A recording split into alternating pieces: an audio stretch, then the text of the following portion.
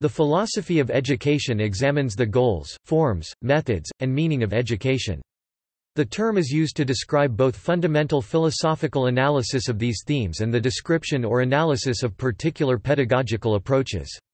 Considerations of how the profession relates to broader philosophical or sociocultural contexts may be included. The philosophy of education thus overlaps with the field of education and applied philosophy. For example, philosophers of education study what constitutes upbringing and education, the values and norms revealed through upbringing and educational practices, the limits and legitimization of education as an academic discipline, and the relation between educational theory and practice. In universities, the philosophy of education usually forms part of departments or colleges of education. Philosophy of education Topic: Idealism. Topic: Plato. Date 424 423 BC 348 347 BC Plato's educational philosophy was grounded in a vision of an ideal republic wherein the individual was best served by being subordinated to a just society due to a shift in emphasis that departed from his predecessors. The mind and body were to be considered separate entities. In the Dialogues of Phaedo, written in his middle period 360 BCE Plato expressed his distinctive views about the nature of knowledge, reality, and the soul. When the soul and body are united, then nature orders the soul to rule and govern, and the body to obey and serve. Now which of these two functions is akin to the divine, and which to the mortal? Does not the divine appear, to be that which naturally orders and rules, and the mortal to be that which is subject and servant? On this premise, Plato advocated removing children from their mother's care and raising them as wards of the state, with great care being taken to differentiate children suitable to the various castes, the highest receiving the most education, so that they could act as guardians of the city and care for the less able. Education would be holistic, including facts, skills, physical discipline, and music and art, which he considered the highest form of endeavor. Plato believed that talent was distributed non-genetically and thus must be found in children born in any social class. He built on this by insisting that those suitably gifted were to be trained by the state so that they might be qualified to assume the role of a ruling class. What this established was essentially a system of selective public education premised on the assumption that an educated minority of the population were, by virtue of their education and inborn educability, sufficient for healthy governance. Plato's writings contain some of the following ideas. Elementary education would be confined to the guardian class till the age of 18, followed by two years of compulsory military training and then by higher education for those who qualified. While elementary education made the soul responsive to the environment, higher education helped the soul to search for truth which illuminated it. Both boys and girls receive the same kind of education. Elementary education consisted of music and gymnastics, designed to train and blend gentle and fierce qualities in the individual and create a harmonious person. At the age of 20, a selection was made. The best students would take an advanced course in mathematics, geometry, astronomy and harmonics. The first course in the scheme of higher education would last for 10 years. It would be for those who had a flair for science. At the age of 30 there would be another selection, those who qualified would study dialectics and metaphysics, logic and philosophy for the next five years. After accepting junior positions in the army for 15 years, a man would have completed his theoretical and practical education by the age of 50. Immanuel Kant Date 1724 to 1804 Immanuel Kant believed that education differs from training in that the former involves thinking whereas the latter does not. In addition to educating reason, of central importance to him was the development of character and teaching of moral maxims. Kant was a proponent of public education and of learning by doing. Georg Wilhelm Friedrich Hegel Date 1770–1831 Topic: Realism. Topic: Aristotle. Date 384 BC to 322 BC. Only fragments of Aristotle's treatise on education are still in existence. We thus know of his philosophy of education primarily through brief passages in other works. Aristotle considered human nature, habit and reason to be equally important forces to be cultivated in education, too thus, for example, he considered repetition to be a key tool to develop good habits. The teacher was to lead the student systematically. This differs, for example, from Socrates' emphasis on questioning his listeners to bring out their own ideas though the comparison is perhaps incongruous since Socrates was dealing with adults. Aristotle placed great emphasis on balancing the theoretical and practical aspects of subjects taught. Subjects he explicitly mentions as being important included reading, writing and mathematics, music, physical education, literature and history, and a wide range of sciences. He also mentioned the importance of play. One of education's primary missions for Aristotle, perhaps its most important, was to produce good and virtuous citizens for the polis. All who have meditated on the art of governing mankind have been convinced that the fate of empires depends on the education of youth. Avicenna Date 980 AD to 1037 AD. In the medieval Islamic world, an elementary school was known as a maktab, which dates back to at least the 10th century. Like madrasas which referred to higher education, a maktab was often attached to a mosque. In the 11th century, Ibn Sina known as Avicenna in the West, wrote a chapter dealing with the maktab entitled, The Role of the Teacher in the Training and Upbringing of Children, as a guide to teachers working at maktab schools. He wrote that children can learn better if taught in classes instead of individual tuition from private tutors, and he gave a number of reasons for why this is the case, citing the value of competition and emulation among pupils as well as the usefulness of group discussions and debates. Ibn Sina described the curriculum of a maktab school in some detail, describing the curricula for two stages of education in a maktab school. Ibn Sina wrote that children should be sent to a maktab school from the age of six and be taught primary education until they reach the age of 14 during which time, he wrote that they should be taught the Quran, Islamic metaphysics, language, literature, Islamic ethics, and manual skills which could refer to a variety of practical skills. Ibn Sina refers to the secondary education stage of maktab schooling as the period of specialization, when pupils should begin to acquire manual skills, regardless of their social status. He writes that children after the age of 14 should be given a choice to choose and specialize in subjects they have an interest in, whether it was reading, manual skills, literature, preaching, medicine, geometry, trade and commerce, craftsmanship, or any other subject or profession they would be interested in pursuing for a future career. He wrote that this was a transitional stage and that there needs to be flexibility regarding the age in which pupils graduate, as the student's emotional development and chosen subjects need to be taken into account. The empiricist theory of tabula rasa was also developed by Ibn Sina.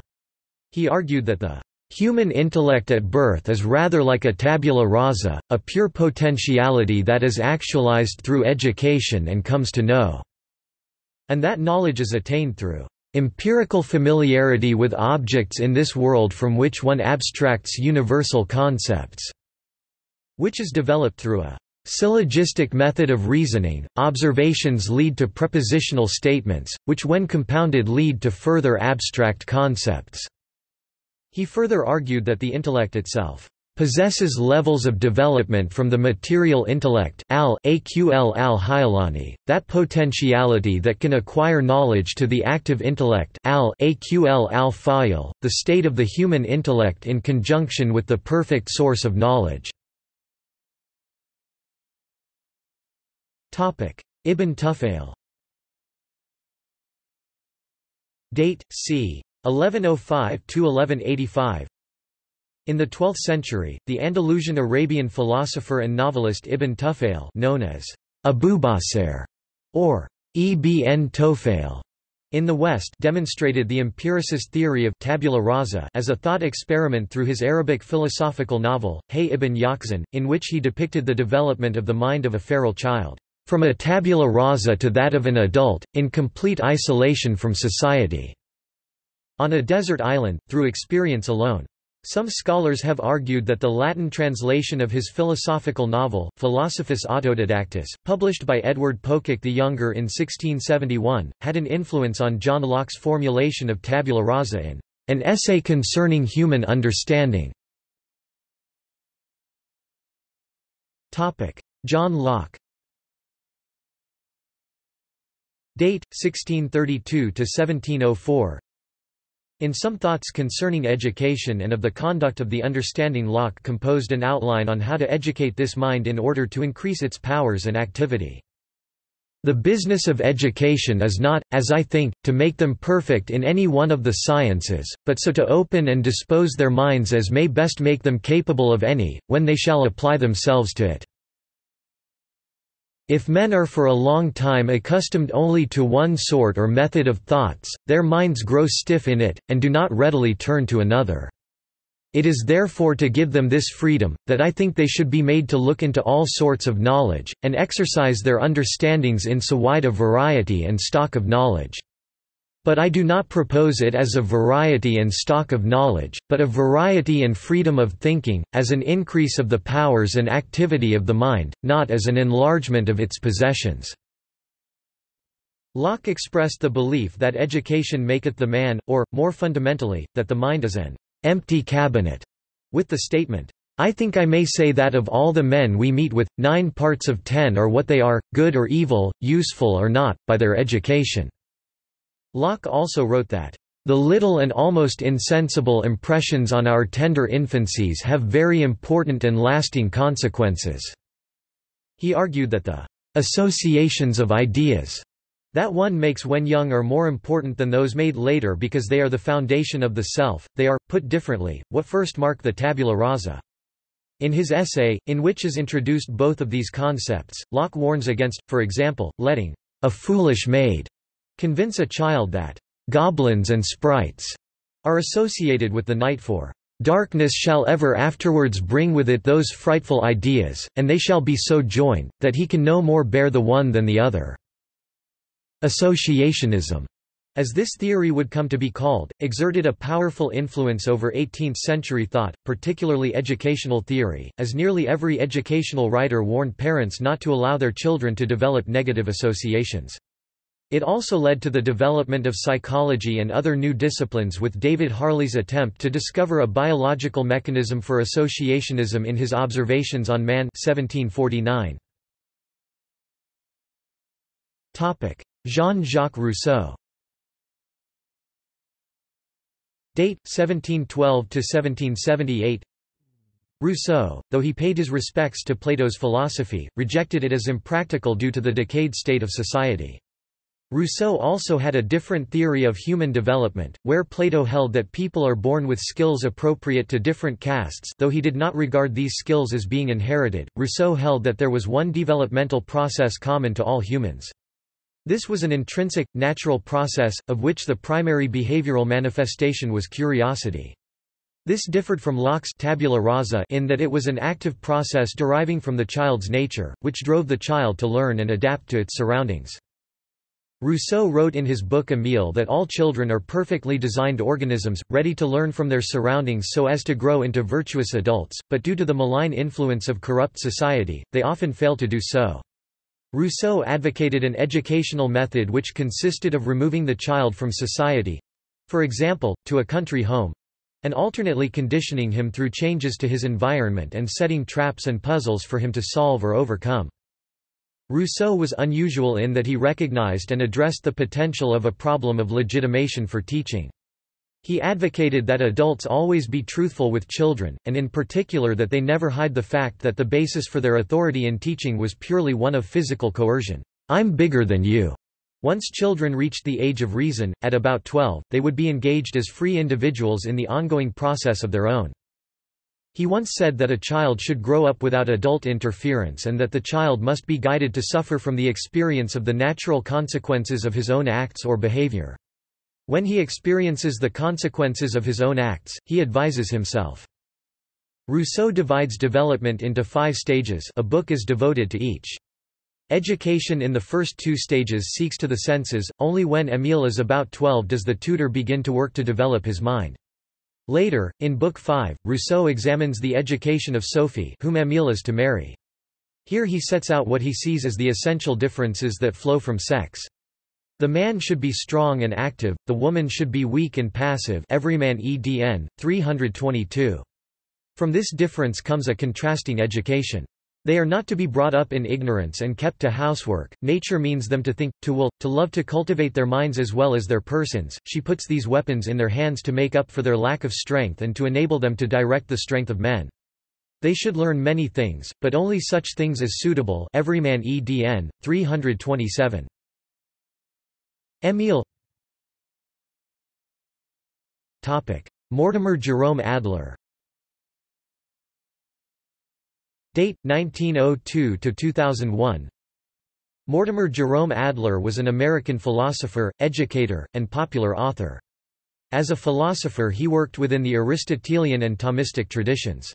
He lived for the longest stretches in New York City, Chicago, San Francisco, and San Mateo, California. He worked for Columbia University, the University of Chicago, Encyclopaedia Britannica, and Adler's own Institute for Philosophical Research. Adler was married twice and had four children. Adler was a proponent of educational perennialism. Harry S. Broudy Date 1905–1998 Broudy's philosophical views were based on the tradition of classical realism, dealing with truth, goodness, and beauty. However he was also influenced by the modern philosophy existentialism and instrumentalism. In his textbook Building a Philosophy of Education he has two major ideas that are the main points to his philosophical outlook, the first is truth and the second is universal structures to be found in humanity's struggle for education and the good life. Broudy also studied issues on society's demands on school. He thought education would be a link to unify the diverse society and urged the society to put more trust and a commitment to the schools and a good education. Scholasticism. Topic. Thomas Aquinas. Date, c. 1225–1274 See religious perennialism. Topic. John Milton. Date 1608 to 1674 The objective of medieval education was an overtly religious one, primarily concerned with uncovering transcendental truths that would lead a person back to God through a life of moral and religious choice Kreeft 15. The vehicle by which these truths were uncovered was dialectic, to the medieval mind, debate was a fine art, a serious science, and a fascinating entertainment, much more than it is to the modern mind, because the medievals believed, like Socrates, that dialectic could uncover truth. Thus a scholastic disputation was not a personal contest in cleverness, nor was it sharing opinions, it was a shared journey of discovery Kreeft 14-15. Pragmatism. John Dewey. Date 1859 to 1952 In Democracy and Education, An Introduction to the Philosophy of Education, Dewey stated that education, in its broadest sense, is the means of the social continuity of life, given the primary ineluctable facts of the birth and death of each one of the constituent members in a social group. Education is therefore a necessity, for the life of the group goes on. Dewey was a proponent of educational progressivism and was a relentless campaigner for reform of education, pointing out that the authoritarian, strict, preordained knowledge approach of modern traditional education was too concerned with delivering knowledge, and not enough with understanding students' actual experiences. William James Date 1842 to 1910. Topic: William Heard Kilpatrick. Date 1871 to 1965. William Heard Kilpatrick was a U.S.-American philosopher of education and a colleague and a successor of John Dewey. He was a major figure in the progressive education movement of the early 20th century. Kilpatrick developed the project method for early childhood education, which was a form of progressive education organized curriculum and classroom activities around a subject's central theme. He believed that the role of a teacher should be that of a guide, as opposed to an authoritarian figure. Kilpatrick believed that children should direct their own learning according to their interests and should be allowed to explore their environment, experiencing their learning through the natural senses. Proponents of progressive education and the project method reject traditional schooling that focuses on memorization, rote learning, strictly organized classrooms desks in rows, students always seated, and typical forms of assessment. Nell Noddings Date, 1929 Noddings' first sole-authored book Caring, A Feminine Approach to Ethics and Moral Education 1984 followed close on the 1982 publication of Carol Gilligan's groundbreaking work in the ethics of care in a different voice. While her work on ethics continued, with the publication of Women and Evil 1989 and later works on moral education, most of her later publications have been on the philosophy of education and educational theory. Her most significant works in these areas have been Educating for Intelligent Belief or Unbelief 1993 and Philosophy of Education 1995.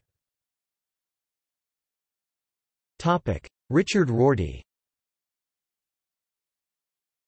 Date 1931 to 2007. Topic: Analytic philosophy.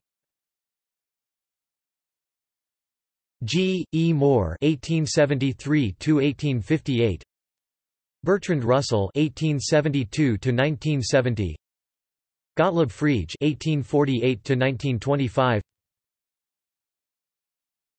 Topic: Richard Stanley Peters (1919–2011).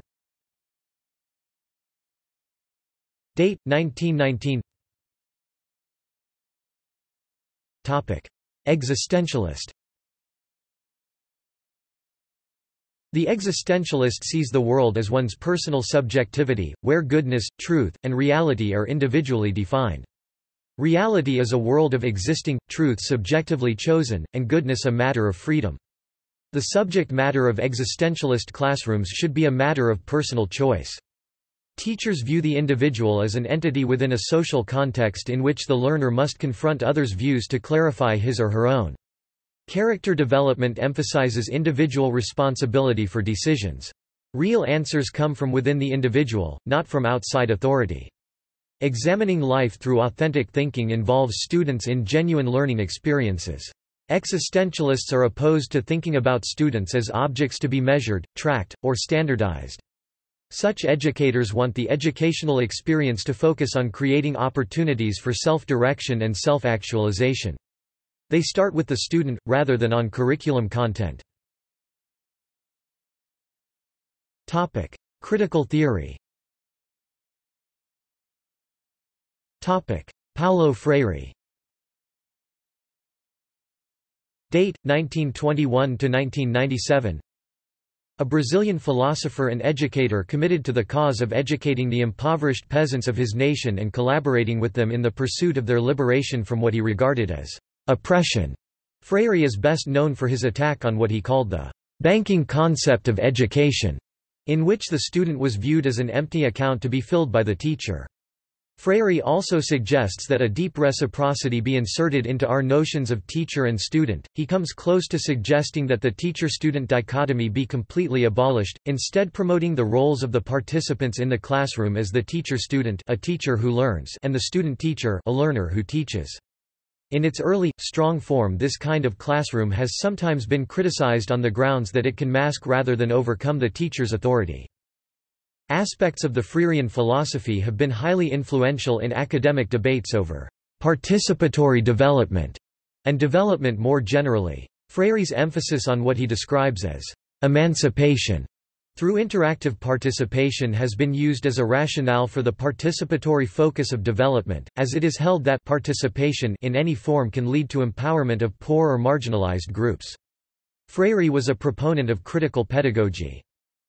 He participated in the import of European doctrines and ideas into Brazil, assimilated them to the needs of a specific socio-economic situation, and thus expanded and refocused them in a thought-provoking way. 3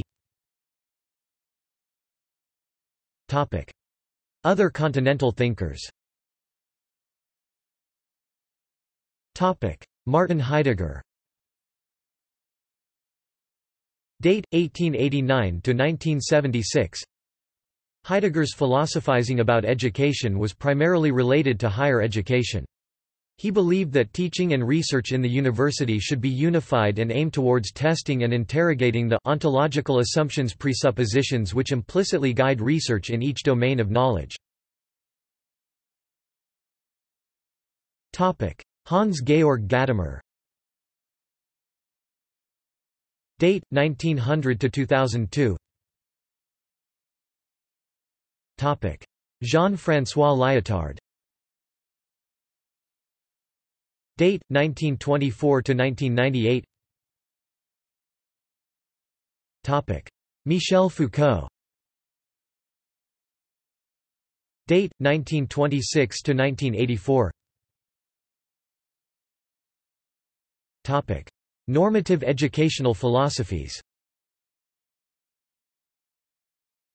Normative philosophies or theories of education may make use of the results of philosophical thought and of factual inquiries about human beings and the psychology of learning, but in any case they propound views about what education should be, what dispositions it should cultivate, why it ought to cultivate them, how and in whom it should do so, and what forms it should take. In a full-fledged philosophical normative theory of education, besides analysis of the sorts described, there will normally be propositions of the following kinds. Basic normative premises about what is good or right. Basic factual premises about humanity and the world. Conclusions, based on these two kinds of premises, about the dispositions education should foster. Further factual premises about such things as the psychology of learning and methods of teaching, and Further conclusions about such things as the methods that education should use Topic. Perennialism Perennialists believe that one should teach the things that one deems to be of everlasting importance to all people everywhere. They believe that the most important topics develop a person. Since details of fact change constantly, these cannot be the most important. Therefore, one should teach principles, not facts. Since people are human, one should teach first about humans, not machines or techniques. Since people are people first, and workers second if at all, one should teach liberal topics first, not vocational topics. The focus is primarily on teaching reasoning and wisdom rather than facts, the liberal arts rather than vocational training. Allan Bloom Date 1930 to 1992 Bloom, a professor of political science at the University of Chicago, argued for a traditional great books-based liberal education in his lengthy essay The Closing of the American Mind. Classical education The classical education movement advocates a form of education based in the traditions of Western culture, with a particular focus on education as understood and taught in the Middle Ages. The term, Classical education has been used in English for several centuries, with each era modifying the definition and adding its own selection of topics. By the end of the 18th century, in addition to the trivium and quadrivium of the Middle Ages, the definition of a classical education embraced study of literature, poetry, drama, philosophy, history, art, and languages. In the 20th and 21st centuries it is used to refer to a broad-based study of the liberal arts and sciences, as opposed to a practical or pre-professional program. Classical education can be described as rigorous and systematic, separating children and their learning into three rigid categories, grammar, dialectic, and rhetoric. Charlotte Mason Date, 1842–1923 Mason was a British educator who invested her life in improving the quality of children's education. Her ideas led to a method used by some homeschoolers. Mason's philosophy of education is probably best summarized by the principles given at the beginning of each of her books. Two key mottos taken from those principles are, "...education is an atmosphere, a discipline, a life", and "...education is the science of relations". She believed that children were born persons and should be respected as such, they should also be taught the way of the will and the way of reason. Her motto for students was I am, I can, I ought, I will.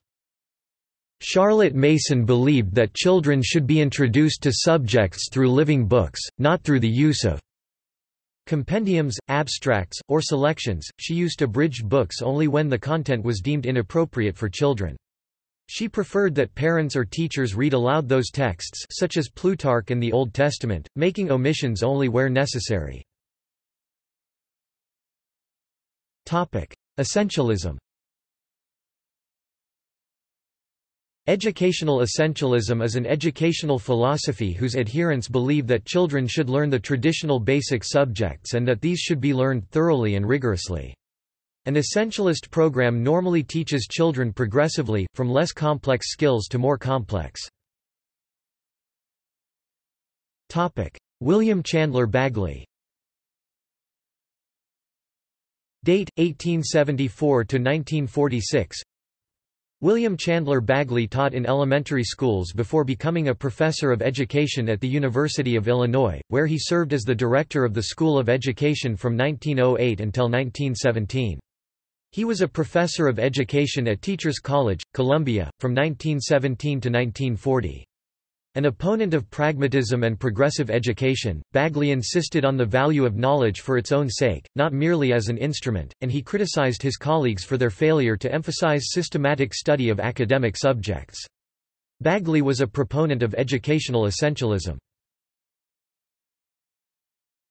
Topic: Social Reconstructionism and critical pedagogy Critical pedagogy is an educational movement, guided by passion and principle, to help students develop consciousness of freedom, recognize authoritarian tendencies, and connect knowledge to power and the ability to take constructive action.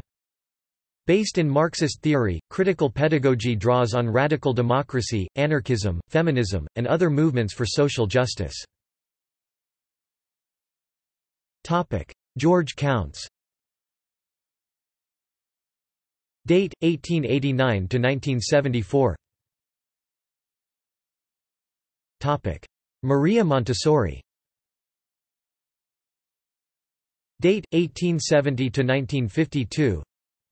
The Montessori method arose from Dr. Maria Montessori's discovery of what she referred to as the child's true normal nature. In 1907, which happened in the process of her experimental observation of young children given freedom in an environment prepared with materials designed for their self-directed learning activity. The method itself aims to duplicate this experimental observation of children to bring about, sustain and support their true natural way of being. Waldorf Waldorf education also known as Steiner or Steiner-Waldorf education is a humanistic approach to pedagogy based upon the educational philosophy of the Austrian philosopher Rudolf Steiner, the founder of anthroposophy.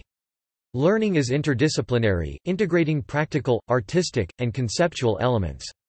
The approach emphasizes the role of the imagination in learning, developing thinking that includes a creative as well as an analytic component.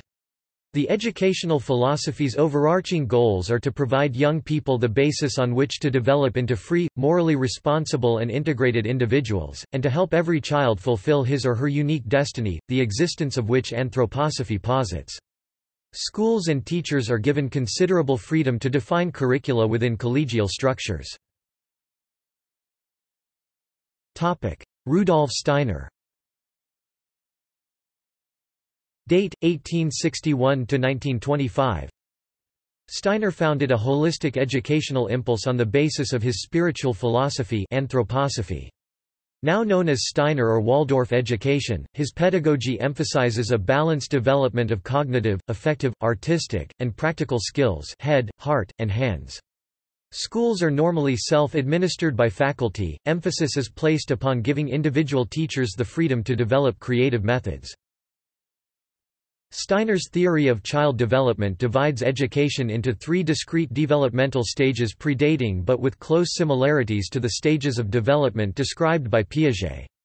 Early childhood education occurs through imitation, teachers provide practical activities and a healthy environment.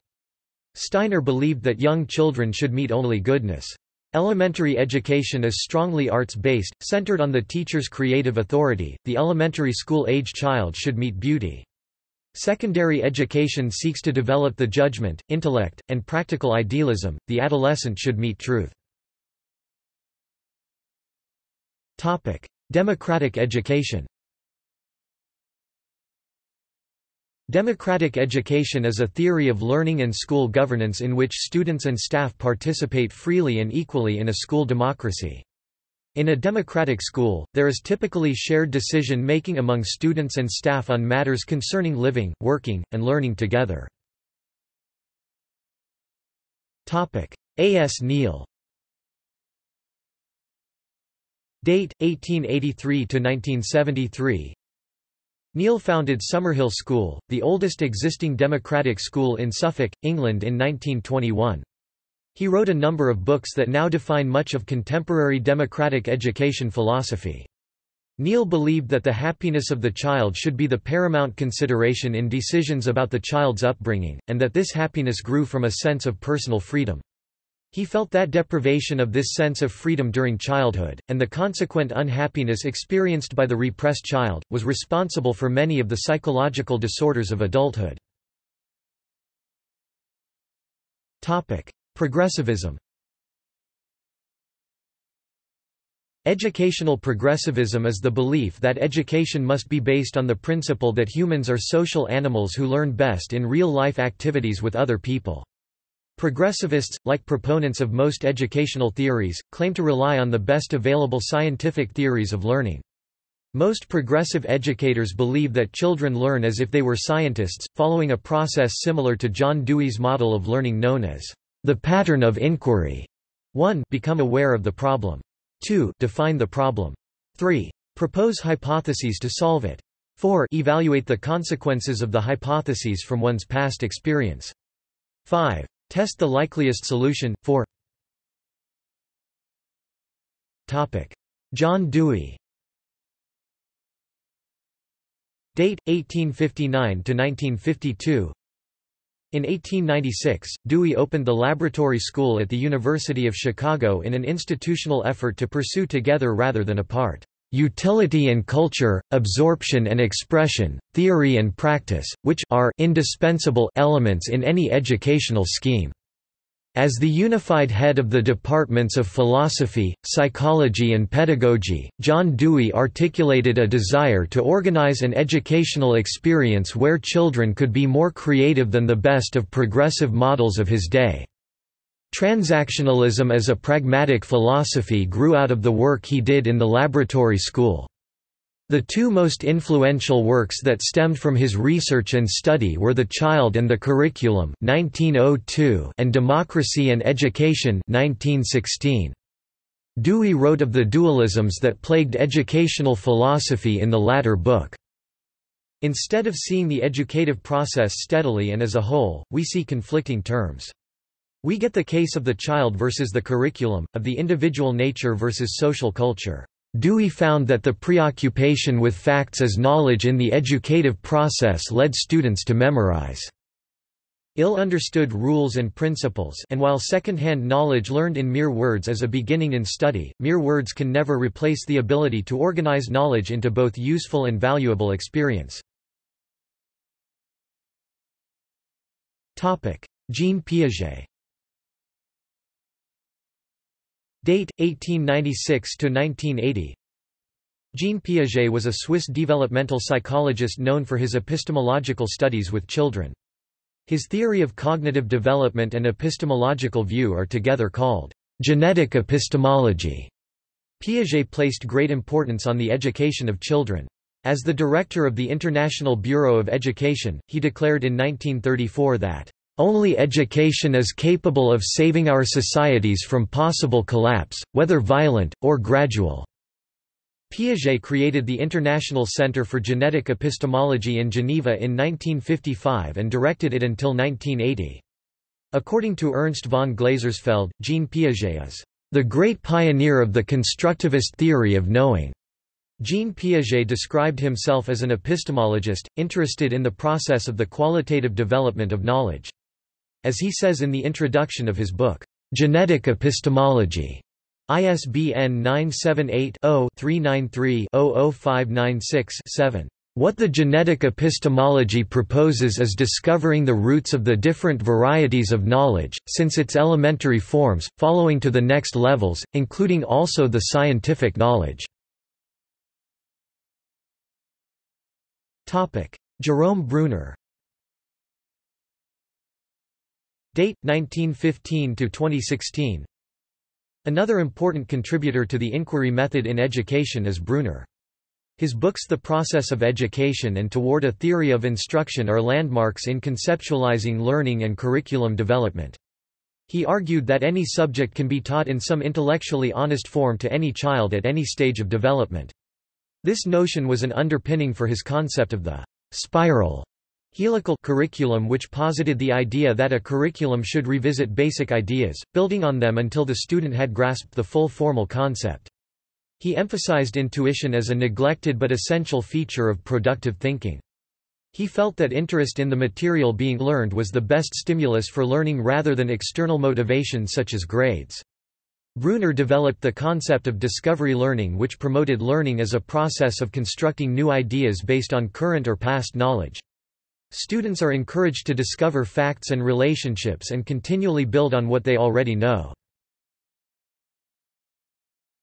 Topic: Unschooling Unschooling is a range of educational philosophies and practices centered on allowing children to learn through their natural life experiences, including child-directed play, game play, household responsibilities, work experience, and social interaction, rather than through a more traditional school curriculum. Unschooling encourages exploration of activities led by the children themselves, facilitated by the adults. Unschooling differs from conventional schooling principally in the thesis that standard curricula and conventional grading methods, as well as other features of traditional schooling, are counterproductive to the goal of maximizing the education of each child. John Holt In 1964 Holt published his first book, How Children Fail, asserting that the academic failure of schoolchildren was not despite the efforts of the schools, but actually because of the schools. Not surprisingly, How Children Fail ignited a firestorm of controversy. Holt was catapulted into the American national consciousness to the extent that he made appearances on major TV talk shows, wrote book reviews for Life magazine, and was a guest on the To Tell the Truth TV game show. In his follow-up work, How Children Learn, published in 1967, Holt tried to elucidate the learning process of children and why he believed school short-circuits that process. Contemplative education Contemplative education focuses on bringing introspective practices such as mindfulness and yoga into curricular and pedagogical processes for diverse aims grounded in secular, spiritual, religious and post-secular perspectives. Contemplative approaches may be used in the classroom, especially in tertiary or often in modified form in secondary education. Parker Palmer is a recent pioneer in contemplative methods. The Center for Contemplative Mind in Society founded a branch focusing on education, the Association for Contemplative Mind in Higher Education. Contemplative methods may also be used by teachers in their preparation. Waldorf education was one of the pioneers of the latter approach. In this case, inspiration for enriching the content, format, or teaching methods may be sought through various practices, such as consciously reviewing the previous day's activities, actively holding the students in consciousness, and contemplating inspiring pedagogical texts. Ziegler suggested that only through focusing on their own spiritual development could teachers positively impact the spiritual development of students. Professional organizations and associations See also. Methodology. Pedagogy. Topic. References. Topic. Further reading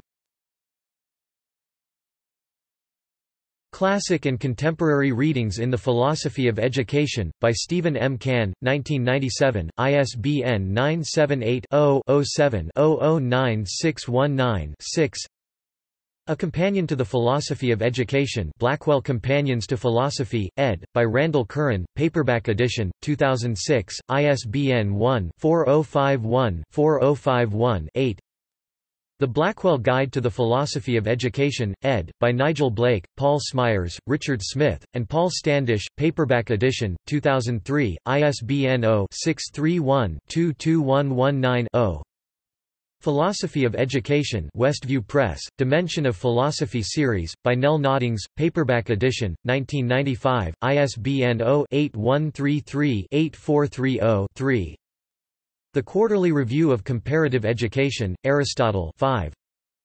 André Kraak, Michael Young Education in Retrospect, Policy and Implementation since 1990 6.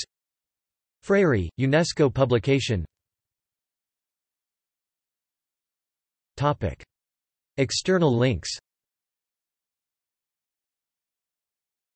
Philosophy of Education in Stanford Encyclopedia of Philosophy Encyclopedia of Philosophy of Education. Thinkers of Education. UNESCO International Bureau of Education website. International Society for Philosophy of Music Education. International Network of Philosophers of Education. Philosophy of Education Society. Philosophy of Education Society of Great Britain.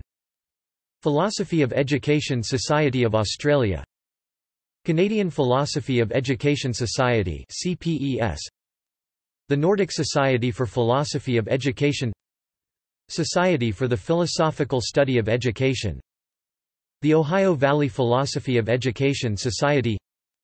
Humanities Research Network, Te Watunga Rangahau Aronu. Leaders Educational Advise